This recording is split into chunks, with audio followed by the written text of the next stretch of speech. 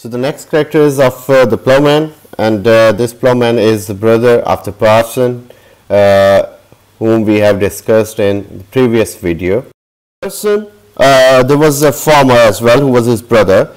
He used to carry loads uh, and loads of dung on cart. He was a true hard worker and was a good person. He lived in peace and perfect charity. He loved God the best at all times from the core of his heart in good or misfortune. After God, he loved his neighbor equally as himself. He would uh, thresh and dig and make ditches in the name of Christ for any poor person without any pay, if it lay in his capacity, of course. He paid his tithes, like tenth part of his income, in fair and well manner, both from his production and his cattle he was dressed in a sleeveless jacket and was riding on a mare due to his low social position. Uh, there was also a reeve and a miller and a sumner and also a partner, a manciple and myself, and there was no more.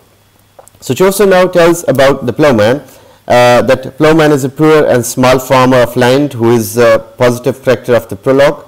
He is uh, from the business class uh, though he is uh, socially low, but he is uh, representing those people who were sincere and honest in business.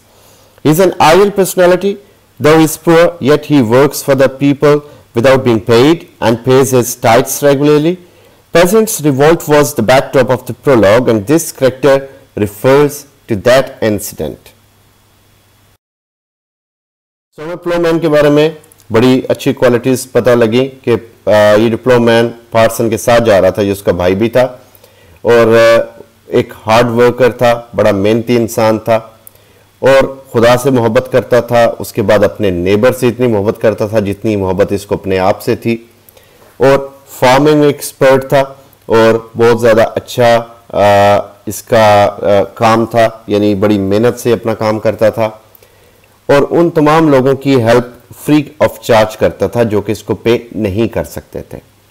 ये अपनी ज़क़़त और खैरात regular basis पे देता था और अपने से गरीब लोगों को भी पे करता था।